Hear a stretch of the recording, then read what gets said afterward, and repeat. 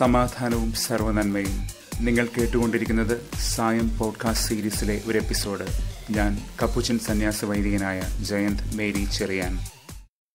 ഇന്നലെ ഓർമ്മകളുടെ സുഗന്ധം പേർന്ന വായനകളായിരുന്നെങ്കിൽ ഇന്നിതാ ഓർമ്മിക്കാൻ ആഗ്രഹിക്കാത്തവയുടെ ജീർണഗന്ധം പേർന്ന ചില വ്യക്തിത്വങ്ങളെ നാം കണ്ടുമുട്ടുകയാണ്. ആദ്യ വായന രണ്ട് രാജാക്കന്മാർ അഞ്ച് പതിനാല് മുതൽ സിറിയൻ സൈന്യാധിപനായ നാമാൻ അവന്റെ ചർമ്മം അളിഞ്ഞ് മാംസം ജീർണിക്കുന്ന കുഷ്ഠരോഗം ലൂക്കായ്ക്ക് വളരെ പ്രിയമുള്ള ഒരു സംഭവമാണിത്. ലൂക്ക നാല് ഏഴ്. അതുകൊണ്ട് തന്നെ ഇന്ന് ലൂക്ക അതിന് അനുയോജ്യമാം വിധം പത്ത് കുഷ്ഠരോഗികൾ നാഥന്റെ അടുത്ത് വന്ന് സൗഖ്യം പ്രാപിക്കുന്ന സംഭവം വിവരിക്കുന്നുണ്ട്. ലൂക്ക പതിനേഴ് പതിനൊന്ന് മുതൽ പത്തൊമ്പത് വരെ.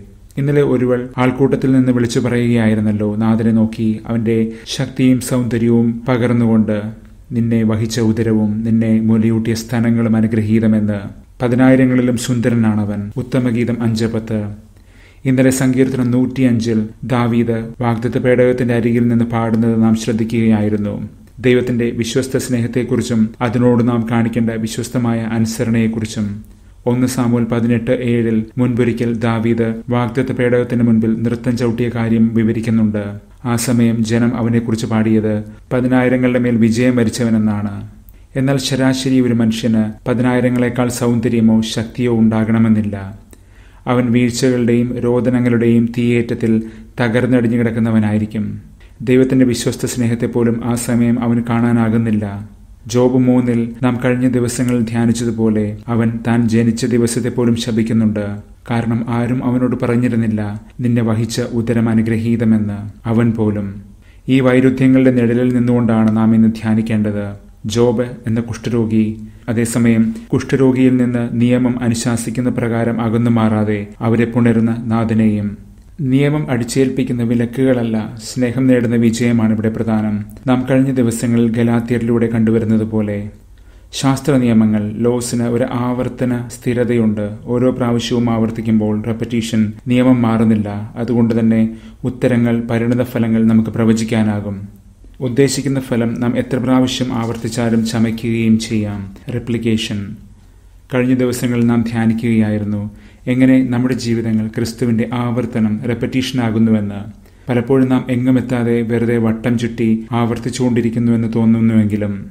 എന്നാൽ അതിനൊരു തനിമയുണ്ട്. എല്ലാവരും ഒരേ അച്ചിൽ വാർത്തതുപോലെയുള്ളവരല്ല. റെപ്ലിക്കേഷൻ ഇന്നലെ ഓർമ്മകളെ ധ്യാനിച്ചപ്പോൾ നാം അത് കണ്ടിരുന്നു. ഓർമ്മ എന്നത് ഭൂതകാലത്തിന്റെ നേരാവർത്തനം റെപ്ലിക്കേഷൻ അല്ല തനിമയുള്ള ആവർത്തനമാണ്. എന്റെ സ്മരണകളുടെ നിറം നിന്റെ സ്മരണകളുടെ നിറത്തോട് ചേരണമെന്നില്ല. ദൈവിക കാരുണ്യവും കൃപയുടെ ആധിക്യങ്ങളുമെല്ലാം ഇങ്ങനെ സുഗന്ധം പേറുന്ന തനിമയുള്ള ഓർമ്മകളായിട്ടാണ് നാം അനുഭവിക്കുന്നത്. വ്യക്തിപരമായ തനിമയുള്ള ദൈവിക ഇടപെടലുകൾ നമ്മുടെ ഓരോരുത്തരുടെയും ജീവിതത്തിൽ അരങ്ങേറുന്നു. കൃപ നിയമത്തിന് അതീതമാണ്. അത് നാം നനച്ചിരിക്കാതെ നമ്മുടെ ജീവിതത്തിൽ സർപ്രൈസുകൾ കൊണ്ടുവന്ന് തരും. നാം വെറുതെ ആവർത്തിച്ചു കൊണ്ടിരിക്കുന്നുവെന്ന് കരുതുന്ന അതേ കാര്യങ്ങൾ കൊണ്ട് തന്നെ ഒരു ദിവസം നാം എടുത്തുയർത്തപ്പെടും നനച്ചിരിക്കാതെ. കൃപ എല്ലാ നിശ്ചിത നിയമങ്ങളെയും തെറ്റിക്കുന്നു. Grace breaks all laws Naaman എത്രയോ തവണ നദികളിൽ മുങ്ങിക്കുളിച്ചിരിക്കുന്നു അതും ജോർദാനേക്കാൾ മികച്ച തന്റെ ദേശമായ സിറിയായിലെ നദികളിൽ. അന്നൊന്നും സംഭവിക്കാത്ത വ്യധ്യാനം ഇന്നിതാ സംഭവിക്കുകയാണ്. നിയമങ്ങൾ നിശ്ചയങ്ങൾ തെറ്റുന്നു. വിശ്വാസത്തിന്റെ അനുസരണത്തിൽ നാമാൻ എളിമയോടെ വർത്തിക്കാൻ തയ്യാറാകുമ്പോൾ പ്രവാചകൻ പറയുന്നത് കേട്ടുകൊണ്ട് നാമാൻ ജോർദാനിലേക്ക് ഇറങ്ങിയെന്ന് പറയുമ്പോൾ അവൻ പടികളിറങ്ങിയെന്ന് മാത്രമല്ല അവൻ അഹന്തയുടെ മേൽത്തട്ടുകളിൽ നിന്ന് താഴേക്ക് ഇറങ്ങിയെന്നുകൂടി അർത്ഥമുണ്ട്. അവന്റെ ചർമ്മം ശിശുക്കളുടേതുപോലെയായി ഇന്നലെ ഗലാത്തിയരോട് ശ്രീഹ ജ്ഞാനസ്നാനത്തെക്കുറിച്ചും അതിൽ നിന്നുളവാകുന്ന പുതുജന്മത്തെക്കുറിച്ചും ഓർമ്മിപ്പിക്കുകയായിരുന്നല്ലോ. ദൈവമക്കളുടെ ചർമ്മകാന്തിയാണിവിടെ. രണ്ട് തിമത്തി ഒന്ന് പത്തിൽ പറഞ്ഞതുപോലെ നാഥൻ മരണത്തെ ജയിച്ച് അമർത്യതയുടെ നിത്യപ്രകാശം ചൊരിഞ്ഞിരിക്കുന്നു. സുവിശേഷത്തിലൂടെ പ്രകാശം ഓർ ചർമ്മം ഓർ ഒരേ ധ്വനിയുള്ള ശബ്ദങ്ങളാണെന്ന് നാം നേരത്തെ ധ്യാനിച്ചിട്ടുള്ളതാണല്ലോ. ഇന്നാകട്ടെ രണ്ട് തിമത്തി രണ്ട് എട്ട് മുതൽ പതിമൂന്ന് വരെ ഈ സുവിശേഷത്തെ പ്രതി ബന്ധനസ്ഥനായിരിക്കുന്ന ഏറ്റവും കഠിന കുറ്റവാളി ലോ ബ്രേക്കർ നിയമലംഘകൻ കക്കൌർഗൂസ് എന്ന് താൻ മുദ്ര കുത്തപ്പെട്ടിരിക്കുന്നു എന്നതിൽ ശ്രീഹ അഭിമാനിക്കുകയാണ്. സുവിശേഷാനുസൃതമായ കൃപ ലോകത്തിന്റെ നിയമങ്ങളെ ഭേദിക്കുന്നു. Gospel grace breaks all laws താൻ ചങ്ങലയിലാണെങ്കിലും സുവിശേഷത്തെ ചങ്ങലയ്ക്കിടാൻ ആർക്കും സാധിക്കില്ല എന്ന് ശ്രീഹ അഭിമാനത്തോടെ പറയുകയാണ്. ദൈവവചനം ഒന്ന് മാത്രമാണ് പ്രസക്തം.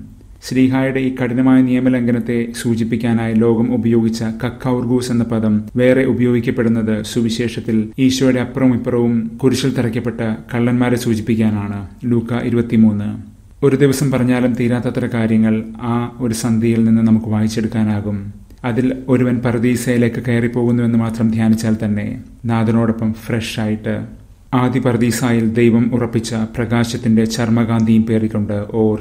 താൻ അറിഞ്ഞ സുവിശേഷത്തിന്റെ വെളിച്ചത്തിൽ ശ്ലീഹ വിശ്വസിക്കത്തക്കതായ വചനത്തെക്കുറിച്ചാണ് സംസാരിക്കുന്നത്. ഹൊലോഗോസ് ഒപ്പിസ്തോസ് കാരണം വചനമായ ദൈവം വിശ്വസ്തമാണെന്ന തിരിച്ചറിവിൽ നിന്നാണ് ഇത് ഉളവാകുന്നത്. നാഥനോടൊപ്പം പീഡയും മരണവും നാം ഏറ്റുവാങ്ങുമ്പോൾ അവനോടൊപ്പം മഹത്വത്തിലും ഉയർപ്പിലും കൂടിയാണ് നാം പങ്കുചേരുന്നത്. ഇത് ഉറപ്പാണ്. മാത്രമല്ല നമ്മൾ അവിശ്വസ്തരായിരുന്നാൽ കൂടിയും ദൈവം എന്നും വിശ്വസ്തനായിട്ട് തന്നെയാണ് നമ്മോട് പെരുമാറുന്നതും. നേരത്തെ നാം കണ്ടതുപോലെ ഇത് നനച്ചിരിക്കാത്തൊരു ട്വിസ്റ്റാണ്. നാം വ്യവസ്ഥകൾ ലംഘിക്കുമ്പോൾ പോലും ദൈവം തന്റെ സ്നേഹത്തിന്റെ വ്യവസ്ഥകൾ ഒരിക്കലും പിൻവലിക്കുന്നില്ല.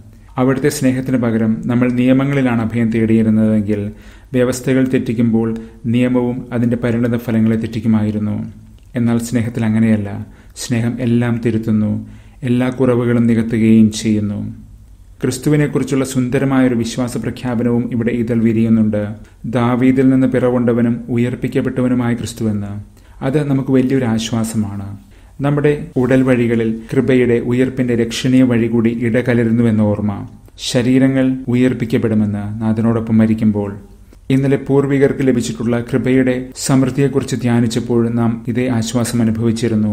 സങ്കീർത്തനം നൂറ്റിയഞ്ചിൽ അവർ ഉടലിനെ ജനിപ്പിച്ചവർ മാത്രമല്ല കൃപയുടെ ചാലകങ്ങൾ കൂടിയായി മാറുകയാണ്. എല്ലാ മനുഷ്യരുടെയും നിയോഗവും ഇതുതന്നെയാണ് ഇന്ന് സങ്കീർത്തനം തൊണ്ണൂറ്റെട്ട് അതുകൊണ്ട് പൂർവിക ചരിത്രത്തിലേക്കും ഭൂതകാലത്തിലേക്കും മാത്രമല്ല ശ്രദ്ധ തിരിക്കുന്നത് വരാനിരിക്കുന്ന വിജയത്തിന്റെ കാലത്തിലേക്കും കൂടിയാണ്. നാഥൻ ഇതാ വരുന്നുവെന്ന് ഓർമ്മിപ്പിച്ചുകൊണ്ട് ക്രിസ്തു എന്ന രാജാവിനെ പ്രകീർത്തിക്കുന്ന സങ്കീർത്തനമാണത്. പക്ഷേ അവന്റെ കുരിശിന്റെയും ഉത്ഥാനത്തിന്റെയും വെളിച്ചത്തിൽ മാത്രമേ ഈ രാജ്യത്വം എന്തെന്ന് നമുക്ക് തിരിച്ചറിയാനാകൂ.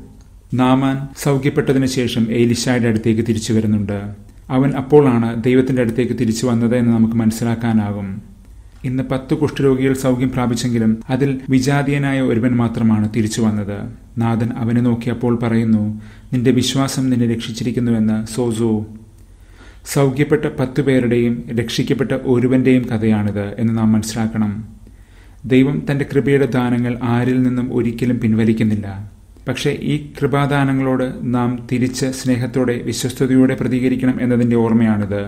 നാം ക്രിസ്തുവിലേക്ക് തിരിച്ചു ചെല്ലണം എന്ന ഓർമ്മ. അത് പരമപ്രധാനവും രക്ഷാനിർണയവുമാണ്. പിൽക്കാലത്ത് ലൂക്ക അപ്പോസ്റ്റ പ്രവർത്തനങ്ങൾ എഴുതുമ്പോൾ ഇതിന്റെ പ്രായോഗിക വശങ്ങൾ വിവരിക്കുന്നുണ്ട്.